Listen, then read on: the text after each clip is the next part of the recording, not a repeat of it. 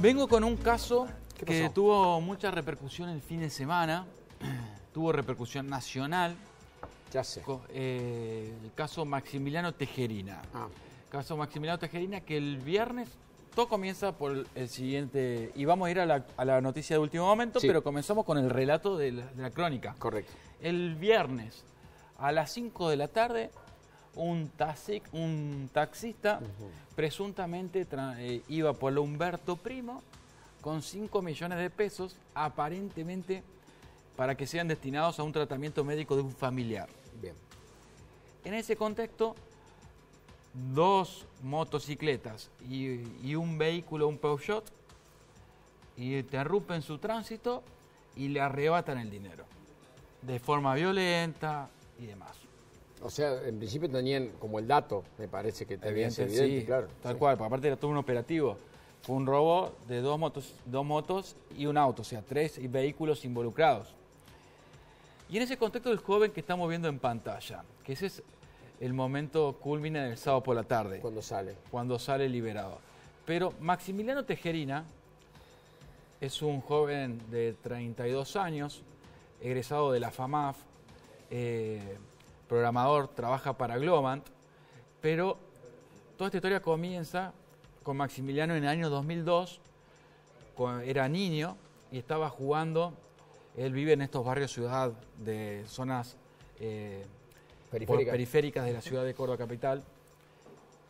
Y estaba en un descampado jugando y una persona con una escopeta le tira dos tiros de perdigonadas, le pactan en la cabeza y siendo niño pierde, eh, eh, tiene una discapacidad eh, Motriz también, ¿no? motriz, cerebral, no puede hablar, no habla y tiene discapacidades motoras. Pero a pesar de todo ello, gracias a un profesor de matemática del secundario y el apoyo de la familia, por supuesto, logra terminar el secundario y el profesor de matemática lo impulsa a ingresar a la FAMAF a estudiar computación. Bien.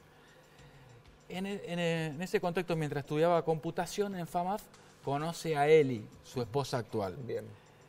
Ambos integran todos estos detalles que suman al contexto para conocer la historia de vida, ¿no? Correcto. Maximiliano y Eli forman parte de una iglesia evangélica cristiana.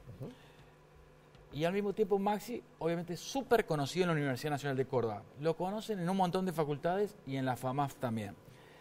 Los docentes lo van acompañando y en el año 2021 logra el título intermedio de analista en computación. Y allí me llega la información de que él quería conseguir trabajo para casarse con Eli y para construir su casa. Le hacemos la nota en Crónica Matinal en el 2021 por la repercusión viral que tiene. Maximiliano tiene que sopesar dos opciones, o entraba a trabajar en laboratorio de hemoderivados como el área de sistemas, o trabajar en Globan. Decidió trabajar en Globan, una multinacional, empresa unicornio, así como Mercado Libre, Sí. pero Ar- Argentina también es, es una de las 11 empresas unicornio de Argentina. Entra a trabajar en Globan. Globan tiene su sede en la avenida Colón y Cipoli. Viste que vas por Colón, a mano derecha, te encontrás con un edificio de GNI Sí, muy grande y sí, ahí está Globan, un edificio inteligente. Bueno, él trabaja desde el año 2021 en Globan, desde la mañana hasta las 4 de la tarde. Bien. El día viernes, Maximiliano sale de Globan a las 4 de la tarde y va hasta el Mercado Norte Sí. en colectivo y hace unas compras en el Mercado Norte. Ahí nosotros tenemos el recibo. Él hace una compra en carnes manzano a las 17 y 15, Bien. 5 y cuarto. Por lo tanto, él en el, en el momento del robo no estaría involucrado, en el momento del robo. Bien. Sale del Mercado Norte Sí. por Rivera Indarte y cuando llega Humberto Primo, Sí. aparentemente encuentra una mochila que tendría algo de dinero ahí adentro, la levanta y cuando mira para el costado, hay una persona lo identifica como ladrón, otra persona lo supuestamente, lo- esta es la versión de la policía, ¿no? Otra persona supuestamente lo identifica como ladrón y lo detienen entre policías y ciudadanos que transitaban por la zona.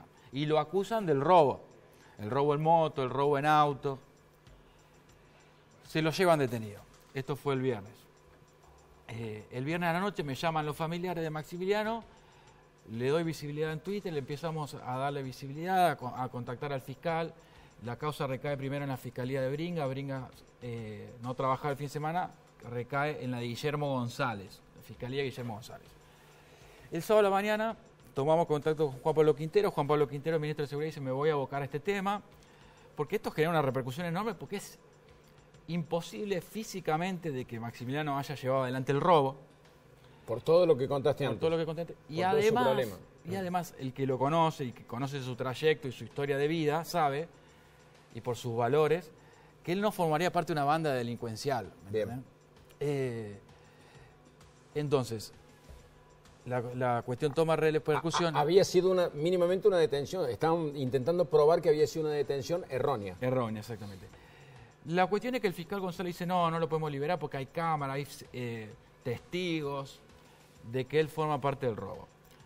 Evidentemente no fue tan así, porque si hubiera sido así, las cámaras se hubieran eh, publicado, como hace la policía generalmente cuando quiere mostrar que trabaja bien, Sí. y nosotros mostramos muchas veces las cámaras 911. Evidentemente no fue tan así porque Guillermo González a las 4 de la tarde lo libera, Lo del sábado. Bien. Cosa rara, porque si este hecho no hubiera tenido la repercusión que tuvo, un pibe como Maxi está 5 o 6 días detenido, mínimo. Claro. No lo liberan un sábado a la tarde. Está bien. Los fines de semana es raro que la burocracia siga funcionando. En este caso hubo un accionar como debería ser siempre, ¿no? Como debería ser siempre. La novedad Sí. es que eh, Maximiliano, por un lado, sigue imputado, sigue imputado del hurto, del robo, la causa es de hurto, y por otro lado, la justicia está reevaluando esta situación. Me parece que lo que se viene es que va a ser eh, limpiado de la causa, Absuelto. absuelto de la causa. Y en paralelo, ayer hubo una reunión, y tengo información respecto al ministro Julián López, ministro de, Segu- de Justicia, Mm. Trabajo y Derechos Humanos del gobierno provincial, que tras una reunión con Juan Pablo Quinteros, empezarían a investigar el accionar de la policía, pero sobre todo en el área de López, el servicio penitenciario. ¿Por qué? Porque lo que denuncia Maximiliano es maltratos de parte de uno o dos agentes del servicio penitenciario. Durante el tiempo que estuvo detenido. Durante el tiempo que estuvo detenido. que fue del viernes. 24 horas.